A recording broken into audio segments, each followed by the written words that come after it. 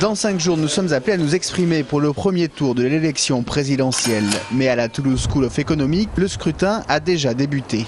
Karine van der Straten y est chercheuse et depuis fin mars, elle propose aux internautes de voter pour les candidats, mais selon des modes de scrutin différents de celui en vigueur en France. Maintenant, l'objectif, c'est d'essayer de comprendre la manière dont les institutions démocratiques, donc ici en plus particulièrement le, mode de scrutin, la manière dont on élit le président de la République, va impacter à la fois le résultat de l'élection, qui est élu, mais aussi les poids relatif des différents euh, candidats dans une élection. L'expérience est menée pour la première fois sur Internet, mais Karine van der Straten avait déjà testé son dispositif en 2002 avec de vrais électeurs sortant des urnes. Le mode de scrutin alors choisi était le vote par approbation, et si Jacques Chirac arrivait en tête, l'impact sur les autres résultats était loin d'être anodin. Lionel Jospin arrivait euh, très nettement en seconde position et que euh, François Bayrou euh, et Jean-Marie Le Pen étaient en, euh, en concurrence pour la, la, troisième place.